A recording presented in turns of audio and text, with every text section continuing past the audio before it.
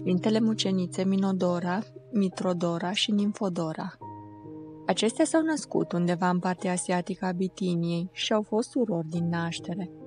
Crescute în duh profund creștinesc, ele au părăsit lumească cetatea fățărniciei și minciunii și s-au retras într-o pustie, însetând după liniștea sufletească și trupească, într-o care să se poată închina pe deplin mire lui Hristos, într-o rugăciune, sărăcie și curăție.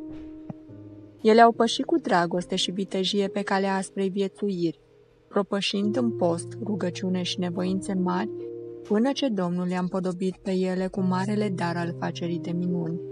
Poporul a început să vină la ele căutând și aflând din belșug vindecarea neputințelor lor și astfel fecioarele s-au făcut vestite fără ca ele să vrea.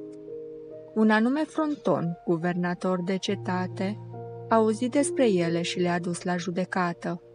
Văzându-le cât de frumoase sunt, guvernatorul a rămas fără grai înaintea lor, căci, deși trupurile lor erau uscate de postul neîncetat, chipul fețelor lor radia de frumusețe și de, de har dumnezeiesc.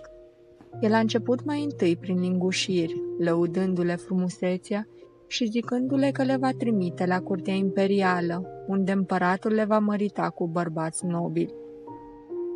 Dar când a văzut că aceste flaterii ieftine nu au niciun efect asupra acestor tinere închinate lui Hristos, el a torturat-o pe Minodora, iar pe surorile ei le-a aruncat în temniță.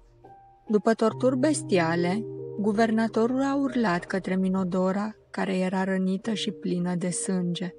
Jerv, jerfește idolilor. Mucenița a zis, Au nu vezi că mă jerfesc eu însă toată Domnului și Dumnezeului meu? După ce torționarea a omorât-o în torturi bestiale pe Sfânta Minodora, guvernatorul le-a scos în schingiuit pe celelalte două surori, pe care le-a pus să vadă trupul mort în tortură al surorilor. Arătând către cadavrul Minodorei, el le-a sfătuit să se lepede de Hristos. Dar mucenițele surori ale muceniței cele ucise au rămas și mai tare în credința lor și au urmat de aceea surorilor, fiind ucise în torturi bestiale de același fronton. Atunci s-a pogorât fulger din cer care i-a omorât pe fiara fronton și pe torționarii lui și pe toate slugile lui. Creștinii au luat după aceasta trupurile mucenițelor și le-au îngropat cu cinste.